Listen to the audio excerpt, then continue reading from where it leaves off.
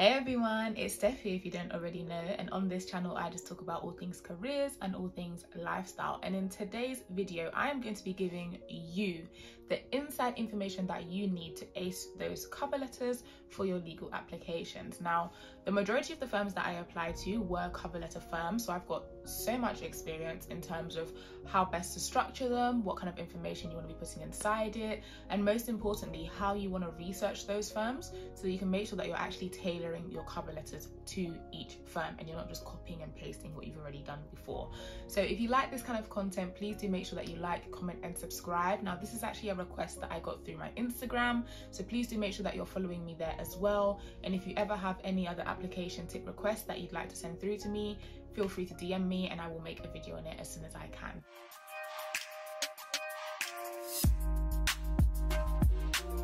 Okay, so first things first, what is a cover letter?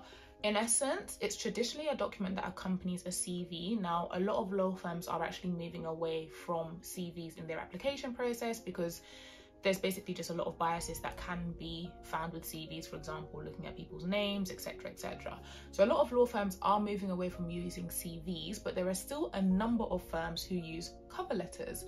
And I think for me personally, the main reason why I think firms use this is because it's a great way to test your writing ability and also your ability to keep information concise you basically use a cover letter to tell your story, but you don't just want to have pages and pages and pages of words. Nobody wants to read that, right? And for firms who don't put a word limit on their cover letter, they're really testing to see can you condense all of the important information that you need to into a given you know reasonable length so for me my reasonable length is normally about 1.5 to maybe two pages at a push but i'd say 1.5 pages is generally okay um, and they just want to see if you're able to do that whilst, you know, keeping every sentence valuable, making sure that you're adding value with your information, but you're also being concise. So First of all, which firms actually still use cover letters? There is a whole heap of them. Don't think that it's just, you know, a few firms here and there. There's quite a few. So we've got Ashurst, we've got Baker and McKenzie, we've got Collyer Bristow, we've got Davis Polk, we've got DLA Piper, we've got Fried Frank, we've got Jones Day, Kirkland and Ellis, Macfarlanes, Norton Rose Fulbright, Orrick, Herrington and Sutcliffe, Skadden, Sullivan and Cromwell, Travers Smith and White and Case. And I did apply to quite a few of these firms. Well, I say quite a few. Like I wrote cover letters for some of these firms as well. So I've got quite a bit of experience in terms of knowing what to put into cover letters, knowing what to make them good and knowing how to research these firms that I just listed out so that you can tailor each cover letter application. So hopefully you're going to find this super useful. Okay, so for me personally, the first thing that I would advise you to do when you're trying to research a firm for the purposes of writing the why that firm section of your cover letter is go directly to the firm's website. Now, a lot of people seem to skip this step and I don't particularly understand why I think you should just always get information straight from the horse's mouth and then to the extent that you can't find something, obviously supplement it with other research sources. So for example, reaching out to employees on LinkedIn or attending the opening days and asking questions about things that you can't find on the website or researching, you know, other legal directories like Chambers, Legal 500, all that sorts of stuff. I think all those things are great, but you should definitely always start with the firm's website first. So scrolling through Travers Smith's website now, first thing that I can see straight away is that they're recruiting 30 trainees next year. So I've already got something that I can say about their intake size, for example. And for someone like me, I'm someone who wouldn't particularly want to be part of a really, really large intake because I like the fact that when you're part of a slightly smaller intake, you tend to get a bit more responsibility earlier on. Now, what does that look like in practice? Because I'm conscious of the fact that people tend to say a lot of words and say a lot of statements, but there isn't always a lot of value behind them. For me personally, I'm part of an intake of 25 trainees. And in terms of the responsibility that I've had, in my first seat, I was running something called like an accession by myself. Now an accession, just for people who are thinking like, oh my gosh, a trainee was running a process, like no, an accession is really not that deep. Um, it's basically just where there has been a precedent deal and then a new company might be joining that particular deal for a number of reasons. A really common reason is probably because um, there's been like a merger or something like that. So there's a new subsidiary, so they now need to become a party to the original deal. Now, for a trainee to be able to run something like that, obviously under the supervision and guidance of their supervisor, that's a lot of responsibility because that meant that I was responsible for liaising with all of the different jurisdictions that were involved. I was responsible for drafting documents like release of security. So if there was security under the original agreement and that had to be released and then new security had to be created, I was responsible for drafting that kind of document. I was responsible for making sure that all of the CPs that were required under this particular accession were either drafted or reviewed correctly. So that was again a lot of responsibility and just general case management. That's where I was able to add value. And that's something that for me personally, I feel like if I was part of a much larger cohort, I might not have had an opportunity to do something like that. So that's something that would be quite important to me and something that I personally, if I was applying to Travers Smith now, I would put that into my why that firm section of the cover letter because I would want the graduate recruitment team to see that I A, understand what it is that trainees actually do, but I B, also have done my research, looked at what the firm has and looked at the skills that I have and seen how they actually marry themselves together. So as I'm on their website now, another thing that I can see in bold is that it says, we're looking for people who take their work, but not themselves too seriously, are partners of the future. So that tells me a number of things. It tells me something about the firm's culture.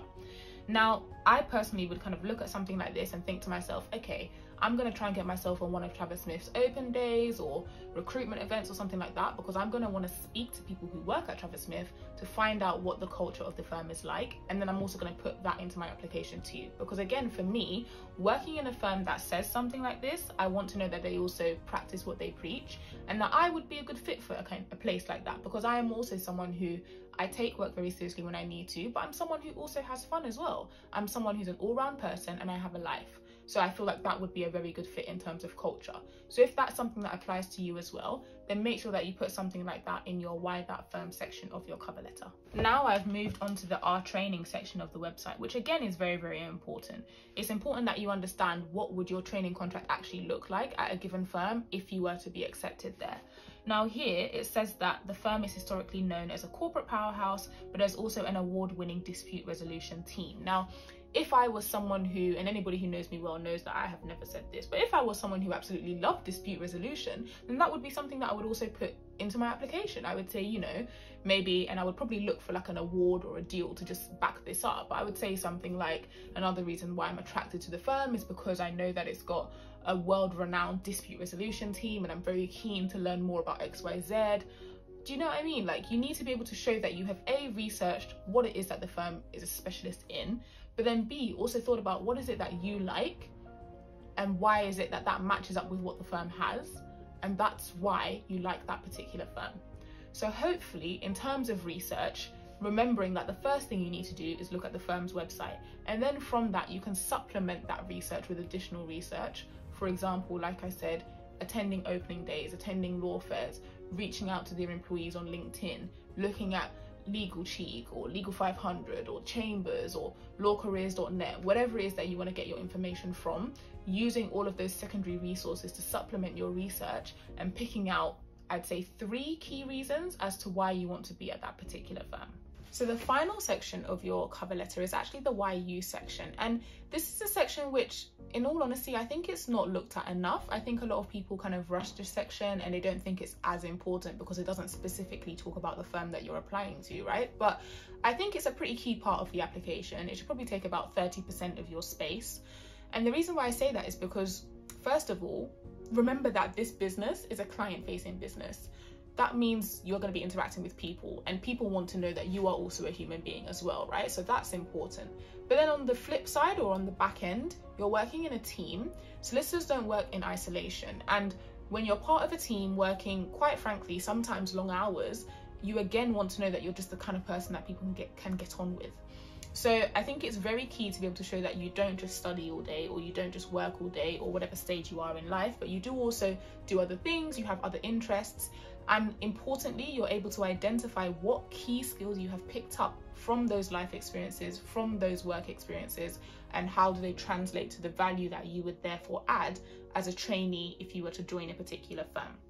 So to give you an example, um, a good kind of you know piece of life experience that I always used to mention was the fact that when I was in my first year at Durham University, I started the Durham African and Caribbean Dance Society. Now, my main reason for doing this was purely because I loved to dance. Um, it's my kind of form of release. I think some people like to gym, I like to dance, something I've done for years, right from childhood. And when I went to Durham, there was a very, very small kind of black community there. Um, but I felt like dance was a great way to A, bring us together, but to B, also teach others, both within and outside of the community, about our culture through the medium of dance. Now, that was for me a way that I was able to kind of demonstrate that I had time management. Now, how did I show that? I was studying law. So, as anybody who has studied law before knows, hell of a lot of reading there not a lot of time to do all of it. So I was able to show my time management in that way. I was also balancing that alongside two part-time jobs and just life generally. I was also able to show my business acumen. Now, how did I show that? Well, I started this society from scratch, right? So there were zero members. And then I started it, I became member number one. But I obviously understood that in order for this to keep going, I would have to find more people, I'd have to promote, I'd have to market, I'd have to make it seem appealing. And I ended up being able to kind of partner with other societies as well and eventually get up to 20 members in the team, which was actually really cool. And we performed at things like fashion shows, we performed at open mic nights, we did a lot. And it all came from the fact that I was able to kind of motivate people to want to keep coming back week after week to dance with me. So that was able to show that, you know, I've picked up these skills from something that I enjoyed, something that I'm passionate about. And then when it came to me being able to reflect how this would be important for me as a trainee, well, I was able to show that I understand that as a trainee, and I can testify to this now because I am a trainee, you will sometimes be on a number of different deals at once.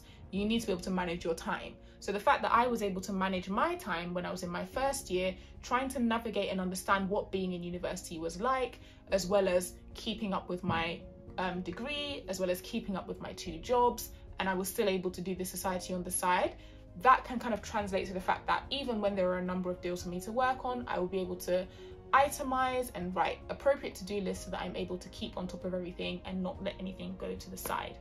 I was also able to show my kind of discipline and my resilience, which again is really, really important in the legal field. So the key thing that I'm getting at here is pick maybe one to two key experiences that you feel like show a number of different skills that you have, as opposed to thinking of a different experience for every skill. Highlight what those skills are and then highlight how they're actually important in the role that you would be playing as a trainee if you were to be accepted at a particular firm. So that is the end of my cover letters video. Now, I really do hope that you found this useful, especially as I went through some examples of my own for you. This is a request that actually did come in through my Instagram, so please do make sure that you follow me there as well. And if there are any other requests, please do feel free to DM me. If you like this kind of content, please do make sure that you like, comment and subscribe and I'll be back again with another video.